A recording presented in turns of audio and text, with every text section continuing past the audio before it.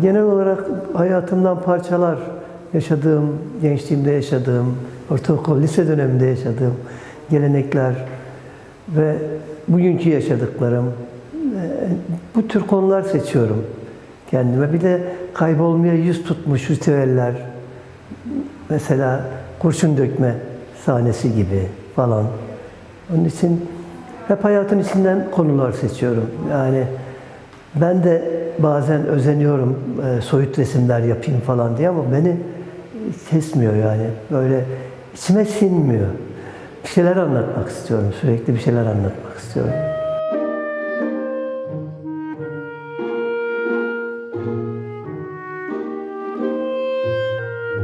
Sergi oluşum süreci çok yıllar önce verilmiş bir söz vardı bir kere e, Selvin Hanım'a. Bayağı bir önce. Ancak bugüne nasipmiş.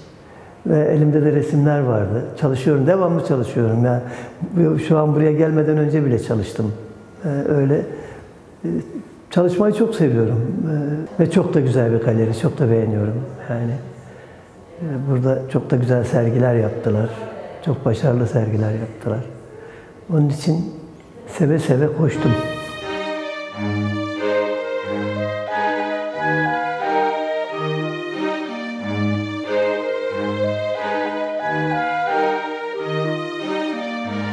Halden hale geçişler sergimizin adı.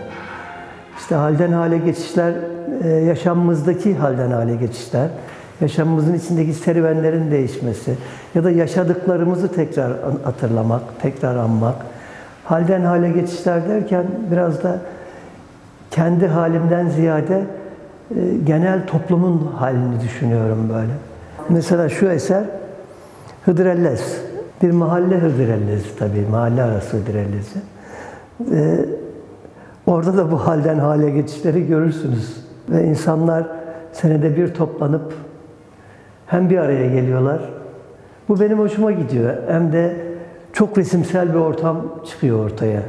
Ateşin yanması, insanların neşesi falan. Ee, bu tür konuları seçiyorum.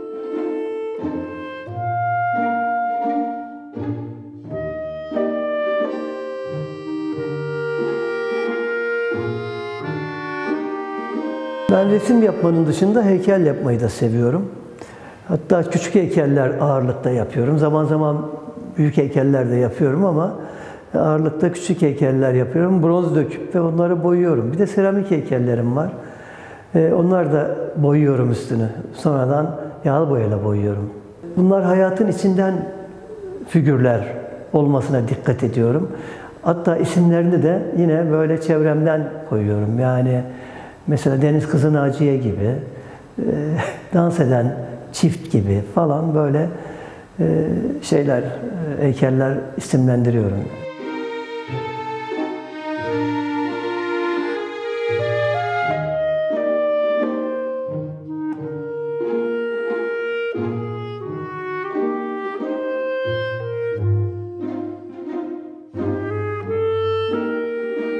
...19 Ocak'ta açıldık. 20 Şubat'ta bitecek. 20 Şubat'a kadar tüm sanatseverleri bekliyorum.